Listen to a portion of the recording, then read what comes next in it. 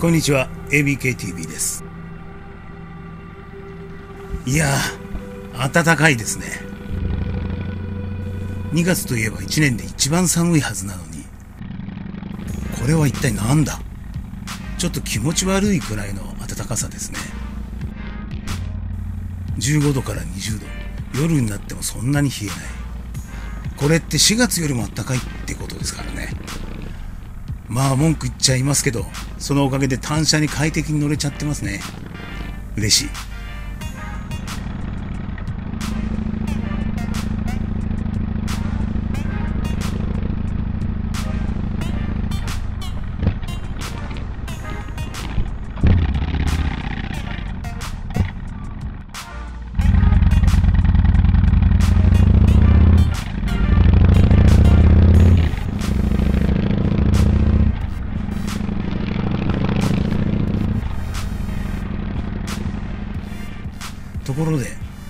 単車劣化しますよね。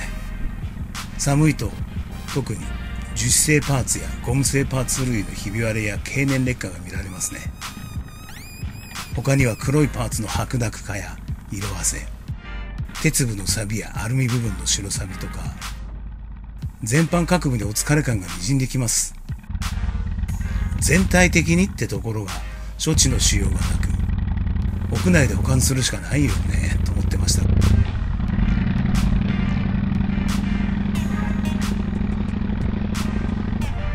それがそうでもない。魔法の杖があるんですね。何人かの方に教わりました。シリコンスプレーです。もともと樹脂やゴムなんかの艶出し剤に入っている成分。今まで乗ってきた単車にこれ使ったことはなかったのですが01には納車初期よりこいつをスプレーしてきました。うちは玄関先に厚手のカバーをかけて保管しています。かなり極厚のカバーではありますがそれでも今までの単車はお疲れになってました。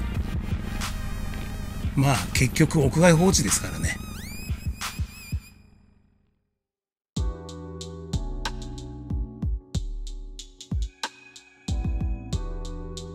しかし01に関しては荒探しをしてもあまりやれてきていない。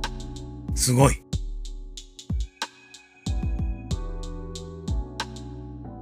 シリコンですから空冷エンジンの冷却フィン。最も熱くなる部分にスプレーしても何ということもない。2年と4ヶ月。白錆びやら表面の変質なども見受けられない。屋外保管でこんなのは初めてです。つまり表面にしっかりと滞留しているということですよね。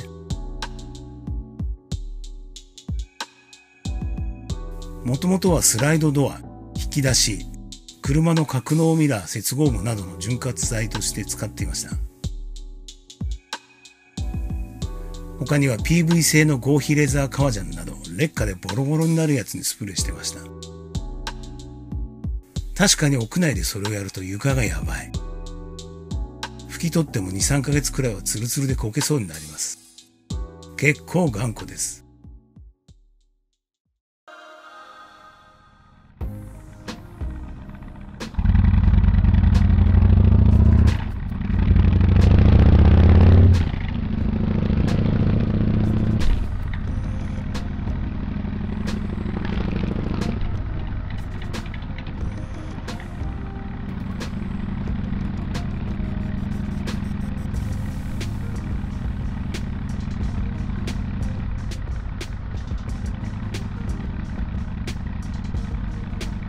おっと？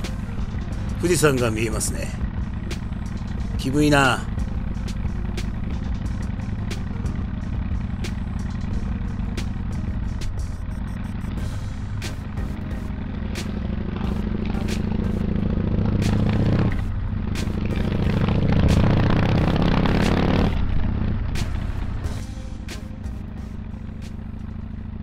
そんなこんなでタンクとエンジンとの隙間やらまあ、あちこちに、シュパーシュパーってやってます。やらないのは、タンクとかの綺麗な塗装面くらいですね。なんせ値段も安い。500円から300円ぐらいでホームセンターとかで売ってますよね。なんで、ガンガン、シュワーって、頭皮や首筋のシワにもシュワーと行きたいくらいですわ。なんなら、チンコにも、シュワー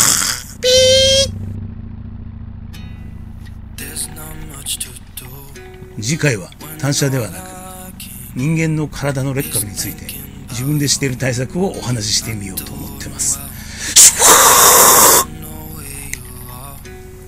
ではまた。